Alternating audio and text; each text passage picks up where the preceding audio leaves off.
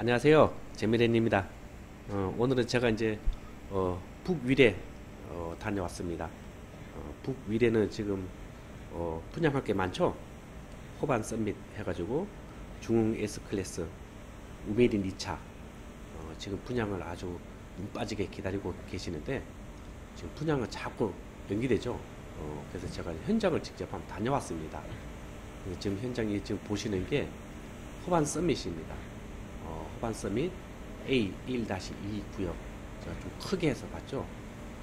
지금 보시면은 어, 이렇게 지금 공사는 시작하고 있습니다.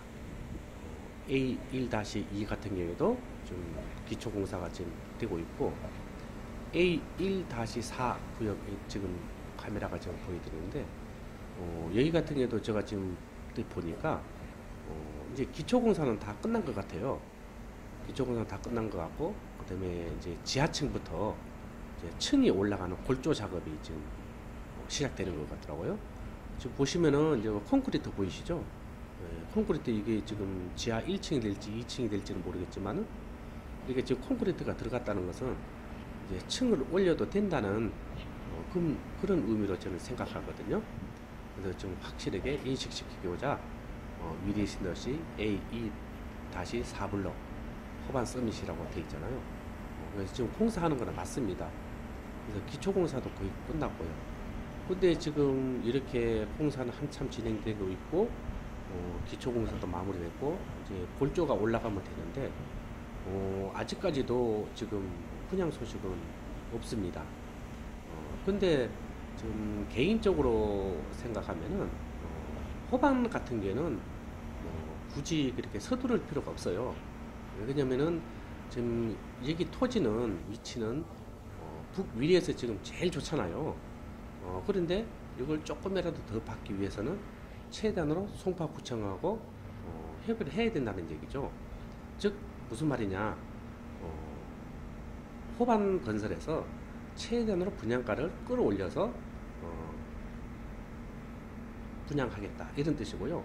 위례 신도시를 담당하고 있는 송파구청 같은 경우에는 지금 빨리 해가지고 분양을 좀 낮추고 싶다는 거죠. 근데 이제 위례 신도시 같은 경우에는 어, 전체가 다 분양가 상한제 걸려 있습니다.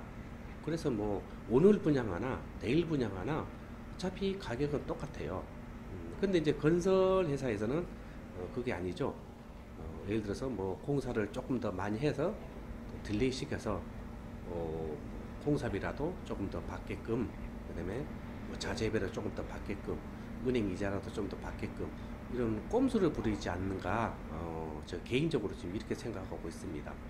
근데 저 정도 지금 공사 진행이 됐으면은 지금 벌써 분양하고도 남았거든요. 어, 그런데 아직까지 분양을 안 한다는 것은 어, 차피 분양가 상한제에 걸려 있으니까 어, 분양 가격을 최대한으로 어, 올려서 어, 분양하겠다 아, 그런 뜻으로 어, 생각이 듭니다.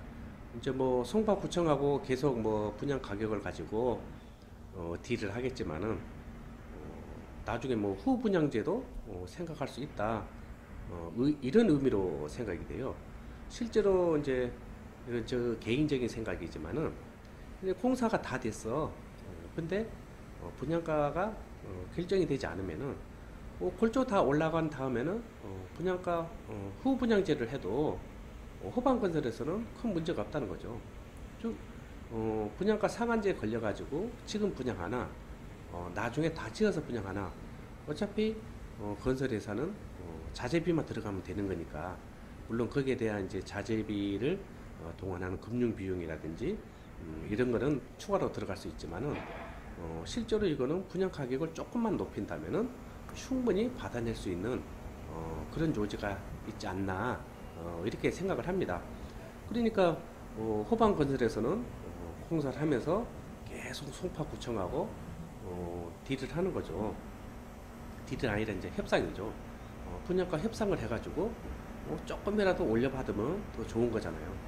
그래서 호반 같은 경우에는 어차피 급할 게 없다. 어, 그리고 어, 여기는 뭐 9억 이상이 되더라도 어, 다들 분양하잖아요. 그리고 절대 미분양이 안 날 거라는 것 어, 호반 어, 호반 건설이 잘 안다는 거죠. 이렇게 잘 아는 호반 건설이 무엇이 급해서 빨리 분양하겠냐. 어, 저 개인적으로 이런 생각이 듭니다. 그래서 정 안 됐을 때에는 어, 후 분양제도 생각하는 어, 호반 건설이 아닌가 어, 지금 이렇게 생각합니다. 조금 이따가 나올 건데 중흥 S클래스나 우미린 2차 같은 경우에는 어, 역시 이제 내년으로 분양이 연기됐잖아요. 어, 여기 같은 경우도 마찬가지죠. 이제 뭐 위례 신도시 북위례도 거의 뭐 막바지로 닿고 있지만은 어, 지금 여기 화면에 나오네요. 어, 여기가 지금 정확한 위치는 모르겠는데 이 정도가 어, 우미린 2차하고 중 S클래스 아파트 어, 자리입니다. 어, 그래서 지금 힐스테이트 보이시죠? 힐스테이트 앞에 어, 그 공터가 어, 중 S클래스하고 우미린 2차 자리인데 여기는 아예 공사를 안 해요. 음, 그래서 어, 거기는 어, 분양을 하고 난 다음에 공사를 시작할 수는 있지만은 어, 좀 호반 건설은 어, 조금 후분양도 어, 생각하고 있지 않나 이렇게 생각합니다. 어, 지금 보시는 이것은 계룡 리시빌이죠.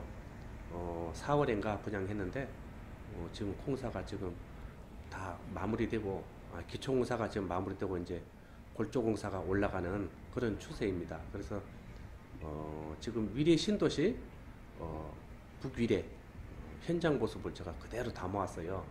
아마 이거 보시면은 이제 그 분양을 기다리신 분들 또 갈증 해소가 좀 되지 않을까 어, 싶어서 이제 재미렌이 어, 현장을 다녀왔습니다. 재미렌이 항상 말씀드리잖아요. 어, 부동산은 현장을 직접 보고 어, 어떤 것을 판단을 해도 어, 판단을 해도 괜찮다. 제가 항상 말씀드려서 제가 현장을 다녀왔습니다. 그리고 여기는 이제 거여 어, 2-2 어, 대림 이편한 세상 아파트죠. 2020년 6월 입주 예정이고 어, 여기는 이제 가밀지구입니다. 어, 가밀지구에서 어, 가밀지구도 어, 위리 신도시에서 다 보입니다. 그래서 접근성도 좋고 굉장히 핫한 지역이죠. 어, 그래서 지금 어, 북위례 지금 공사 현장을 쭉 보고 계시는데 아무튼 뭐 결론은 어, 북위례 호반 서밋 1-2하고 어, A1-4 두 개 있는 호반 건설이 후분양도 생각하고 있지 않나 어, 개인적으로 이렇게 생각을 합니다. 그리고 중흥 S클래스 우미린 차도 내년으로 분양이 연기됐기 때문에 어, 지금부터부터 준비가 좀 부족하신 분들은 어, 철저하게 준비하셔서 어, 분양 가격이 어떤 가격에 나오든 간에 어, 무조건 청약하셔가지고 어, 당첨되는 그런 영광을 차지해 보시기 바랍니다. 어, 제가 봤을 때는 어, 분양 가격에 어, 두배 정도는 오르지 않을까 어, 개인적으로 이렇게 생각을 합니다. 그래서 이건 북위례는 다 노또 자리니까요. 음, 묻지 말고 무조건 청약하셔도 어, 괜찮을 것 같습니다. 그래서 오늘 재미된 유튜브는 이렇게 북위례 어, 지금 현장 모습을 제가 보여드렸고요. 아무튼 호반 서밋은 어, 잘하면은 후분양도 가지 않을까 어, 개인적으로 이렇게 생각하니까 어, 지금 뭐 청약 점수라든지 청약 금액이 좀 부족하신 분들은 미리서부터 어, 준비해 놓은 것도 어, 괜찮을 것 같습니다. 그래서 정확한 분양 시기는 모릅니다. 어, 그러니까 재미린한테 전화하셔서 물어보지 마시고요. 어, 다른 거 질문해 주시기 바랍니다. 그래서 재미린 유튜브는 오늘 북위례 모습을 보여드렸고요. 어, 다음 이 시간에 또 만나 뵙겠습니다. 구독하기 꼭 눌러주세요. 감사합니다.